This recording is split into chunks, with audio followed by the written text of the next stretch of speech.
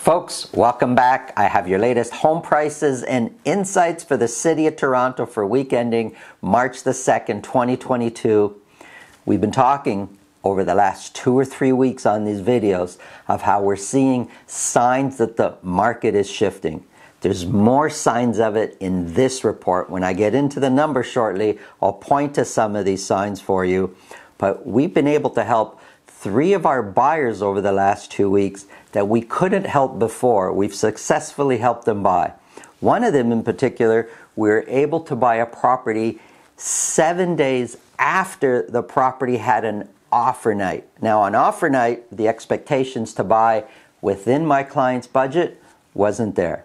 Seven days after, expectations expectations changed and we were able to buy within my client's budget.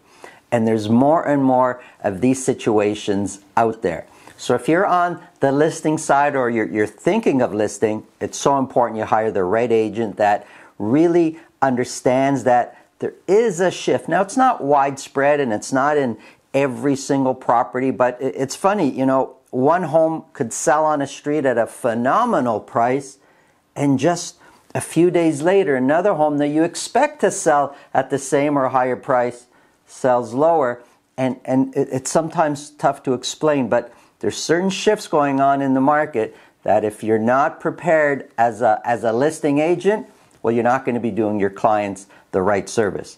And on the buying side, if you're looking to buy, Now's not the time to take your foot off the gas. Now's the time to really be working with an agent that could see some of these opportunities or even create some of these opportunities for you where you couldn't buy before, but now you might have some chances out there. Why are these shifts happening? Well, there's a few things going on. I'm sure buyer fatigue is playing into it where there's less people showing up on offer night. I'm sure also part of it is sellers' expectations have been too high for too long. So that's changing there and playing into that. The, some of these listing agents are listing properties at, at crazy, crazy prices, and they're just not getting the numbers. We recently had an interest rate uh, increase. That's playing into it, and, and it's all up here, playing into people's heads. Buyers thinking maybe prices are coming down, so they've backed off. Sellers worried that because of the interest rate, prices might be coming down, so they're willing to accept a, a little bit lower price on their home. All these things playing into it, causing um, causing prices to shift slightly. Don't get me wrong, still very much a seller's market, but there is a shift that you can be taken advantage of. If you feel this video is going to help somebody you know, please pass the video along. Let's get into the numbers.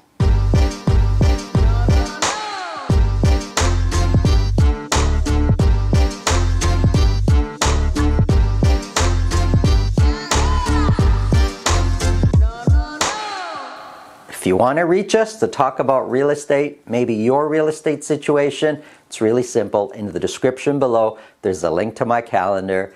Click on that, book a time that's convenient for you. This way, I'll know ahead of time when we're going to chat, and I'll make sure my schedule's organized so we're able to talk about whatever's on your mind. So, how serious is this market shift in Toronto real estate? Well, we've been able to take advantage of and create opportunities for some of our buyer clients that we couldn't have done just two or three weeks ago.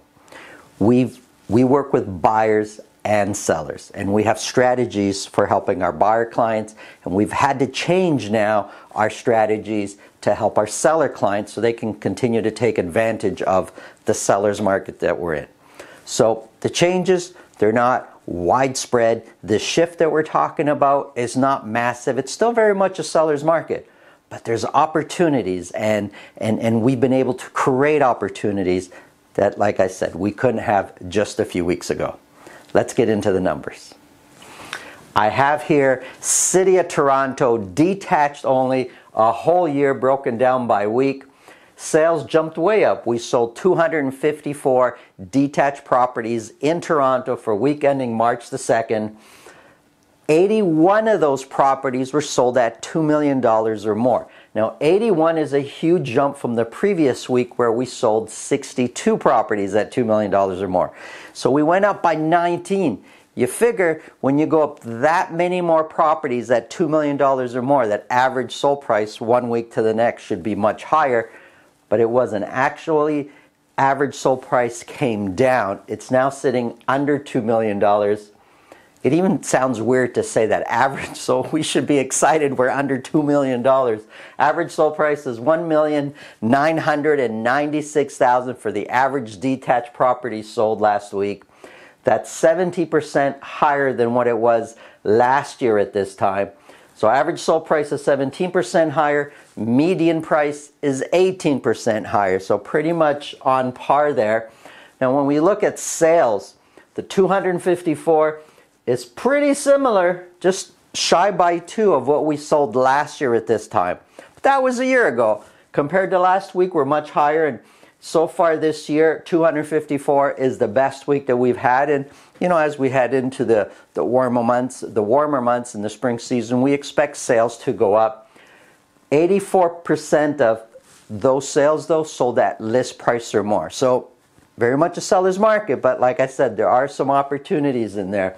Now, if we look at year to date, this is really interesting. If we look at sales from January 1st to March 2nd, we're 10% lower than what we were selling last year at this time.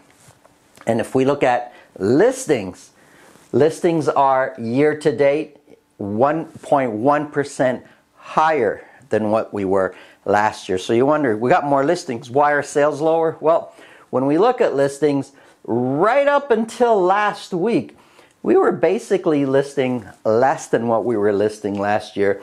It's only this last week we listed 497 properties, which helps to understand why sales also jumped so much. Active listings is higher at 790. I expect sales next week to be even higher than what it was this week. Months of inventory is sitting at 0.7. Average days on market is sitting at 8. And overall, like I said, average sold price came down. Now, that's for all the city of Toronto. When we break Toronto down between east, west, and central, well, we can see that average sold price actually has come down in each of the three parts of Toronto. Looking at the west side of Toronto, months of inventory is sitting at 0.6 the average sold price came down. It's sitting at 1,707,000. Again, this is west part of Toronto. 87% of those sales sold at list price or more, so it's still very competitive. Um, average sold price is 14% higher than what it was a year ago, and the median price is 24% higher than what it was a year ago. Looking at Central, average sold price came down to 2,761. 1.1 is the months of inventory. 71% sold at list price or more. Average sold price 14% higher year over year, and median 23% higher year over year. And looking at the east side, now the east is normally our more competitive side, more volume, uh, uh, higher percentage of increase. Well, average sold price came down. We're sitting at 1,522,000. Months of inventory sitting at 0.5. 92% sold at list price or more. 92%. Average sold price is 17% higher than what it was last year, and median price is 23% higher than what it was a year ago. If I'm going quickly with these slides here, just pause the video, have a look at the numbers. I'm just moving along here. Looking at semis, well, semis went up in price. It's a new record of 1,605,000 for the average semi. Months of inventory sitting at 0.4. 98% sold at list price or more. The semis, very competitive market. Average sold price is 23% higher than what it was a year ago and the median price is 21% higher. What about townhouses? Average sold price for towns went up also.